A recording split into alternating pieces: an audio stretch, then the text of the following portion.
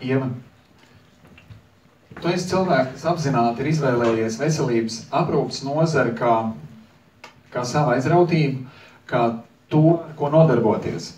Tu esi iegūs divus gadus atpakaļ maģistra grādu uh, mūzikas terapijā un uh, rūpes par cilvēku veselību. Tā ir tava izvēle. Tā ir. Jā, tā ir. Kā tu to izvēlējies?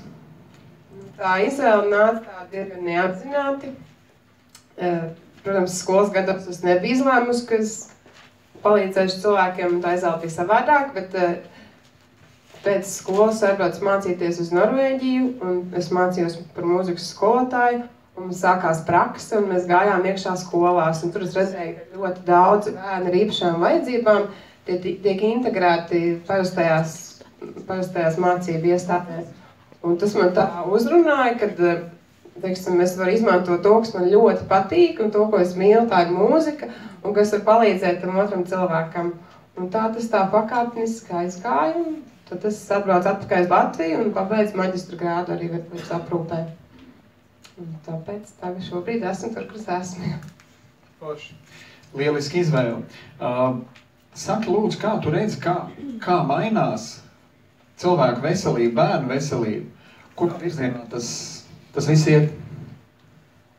Protams, gribētos jau atbildēt diezgan pozitīvi šo jautājumu, bet, diemžēl, bērnu, cik es redzu, es strādāju aprūpas centrā ar bērniem ar īpašām vajadzībām, un tur to bērnu paliek aizvien vairāk un vairāk. Tas ir, nu, tā tendence augt visiem tiem sindromiem ir ļoti, ļoti liela. Diezgan skumīga statistika būtībā. Jo es, kad eh, mācījos Norvēģijā, es domāju, Ventspilī mums tiešām nav, mums taču nav to slimo bērnu. Un tagad es atrodos atpakaļ un sāku strādāt centrā, kurā uzskaitīja 350 bērnu ar īpašām vajadzībām tikai Ventspilī. Tad es sapratu, ka tomēr tā problēma ir ļoti liela. Un vēl pie tam viņi ir pieauguši. Viņi ir ļoti pieauguši, jā. Jā. Ir jau arī daudz tādu, kas neatzīst tās problēmas, nemaz nenāk uz centru. Tie, tā ir statistika, ko mēs nezinām. To pat vienkārši, vienkārši viņi nav Jā, viņi vienkārši tur mājās un vai. bēdīgi. Un uh, pastāst, lūdzu, kā tu pirmo reizi iepazinies ar uh, balans, balans eļu? Es zinu, ka tas bija ļoti jautri. Nu, protams, mana māte bija tā, kas pirmā sāka daroties zino un vēju. Un es pirmo reizi noklausījos Ivaru lekciju talsos. Un man teica, nu aizbrauc, aizbrauc, tev jāapnoklausās. Mēs visi ģimene aizbraucām, un tad Ivars stāstīja lekciju. Un, un viss jau bija ļoti labi, un tad viņš sāka vienā brīdī stāstīt par Karlu un to, to viņas dēlu autistu, un ka gada laikā viņu, viņu izcēla, un, un tā, un tas domāju, nē, nu viss, nu ko viņš stāsta, es taču zinu, man autisti ir kādi pieci, un es zinu, kā un es domāju, ja tā būtu, tad jau man viens autists taču nebūtu. Es domāju, viņš vispār zina, kāds autists izskatās dzīvē. Un, ka viņa gada laikā 14 gadīga autista, ka var izcelt, ja, ka viņš būtībā sāk funkcionēt normāli. Un tad, nu, tas man tā bišķiņ tā kā bremzē, es domāju, nu labi. Un tad uh, bija man pašai tāds gadījums, kad atnāca pie manis uh, viena mamma ar autistu. Tas bērniņš jau pie manis bija nācis uz mūzikas terapiju pirms trīs gadiem. Viņam jau desmit gadu tagad ir. Viņš atnāca uz, uh, uz skeneru terapiju, kuras arī darbojos. Un, un jau viņam tā kā aizcietējām, un mēs sākam strādāt, un viņš uh, sāka lietot uzreiz eļļu. Un pagāja kāds mēnesis, un mamma atnāca un teica, jā, aizcietējām uzreiz.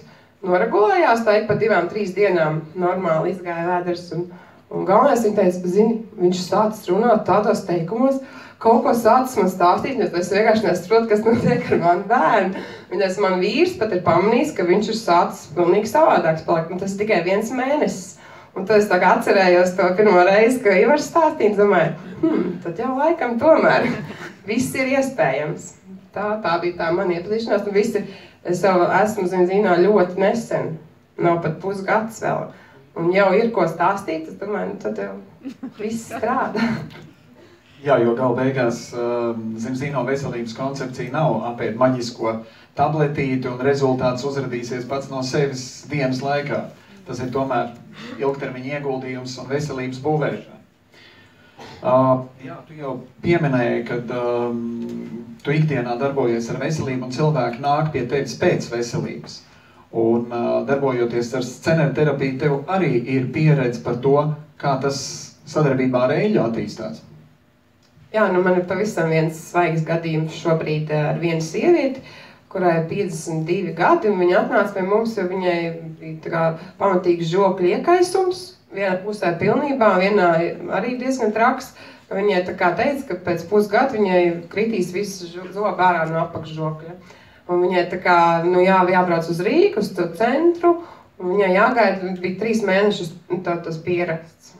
Un viņas mamma nāca pie manas māmas procedūrām, tad viņa arī atnāca. Nu, ļoti izmisusi, jo viņa dara visu savai veselībai, viņa ļoti veselīgi dzīvo, viņa vingro, viņa dara visu kaut ko ļoti labi izskatās. Un tā, un tā viņa bija tāds šokā, ka viņai tiešām tiem zobiem ir tik traki.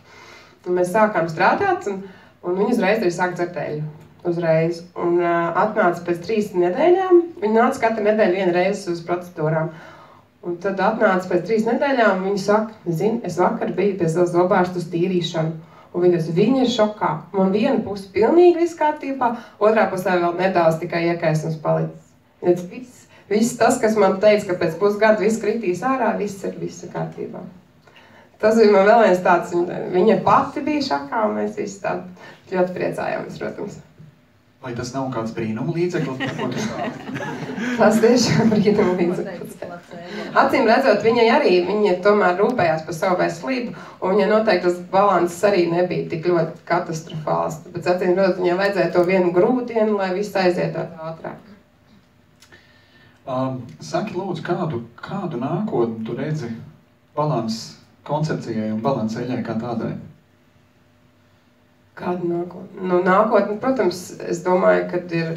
Nu, diemžēl cilvēki paliek slimāki. Nu, droši vien, ka nākotnē veselības nozarei vajadzētu būt gaišākai. Cilvēkiem ir jāsāk vairāk domāt par savu veselību. Jo ļoti grūti ir teiksim, tieši tādi jaunieši manā vecumā, viņi jau nedomā šobrīd. Viņiem viss ir kārtībā, viņiem liekas, nu kā, nu, kāpēc man kaut kas šobrīd jādomā par savu veselību? Man taču viss ir labi. Un tāpēc es ceru, ļoti, ka uh, jau, jau manā vecumā jau sāks domāt nevis tad, kad sākās problēmas, bet pirms, vienu solīti pirms. Jā, Jā uh, saki lūdzu, ko tu aicinātu cilvēkus par ko, par ko domāt? Es aicinātu cilvēkus domāt par, protams, par to, par to kā nodrošināt sev, savai ģimene. Es, piemēram, sev es gribētu uh, lai man būtu veseli mazbērni. Es negribētu redzēt to visu, kas tagad notiek, to visu, ko izdara pārtiks nozara un farmakoloģija. Un, uh, tas viss iet ļoti strājos soļos uz priekšu, tāpēc es, es vēlētos redzēt uh, veselus bērnus Latvijā. Līdz ar to, lai Latvija varētu pastāvēt, mums ir vajadzīgi veseli cilvēki. Tas būtu mans aicinājums visiem domāt par to nākamo paudzi.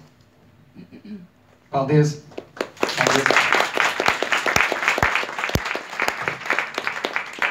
Vaiva. Vaiva, tu uh,